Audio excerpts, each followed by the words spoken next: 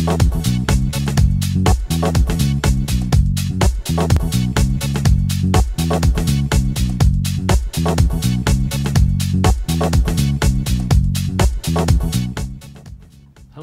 in this video we're going to demonstrate how to properly prepare for termination a Hitachi fiber optic interlock armor cable.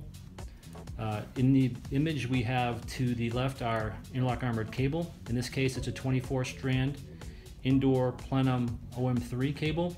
We have a very sharp utility knife and the roto split which is a tool designed for cutting interlock armor.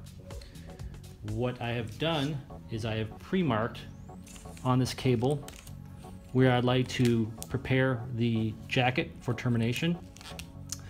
Uh, the length of interlock armor that you want to remove is up to your discretion based upon your installation, but this process is still the same. So we take our utility tool and we're going to cut into the outer jacket of the cable along the lines I've made.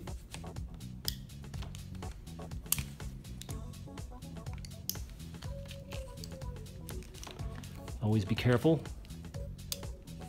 not to cut yourself. We then take the jacket material, remove it. We then take our roto split tool and insert the armored cable as so.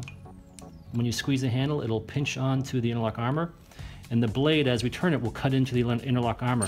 Once it begins to spin freely, you know you've cut through the interlock armor.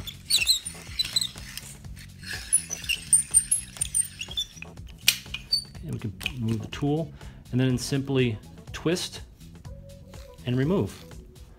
And then you have your exposed fiber optic cable that's ready for termination. Thank you very much.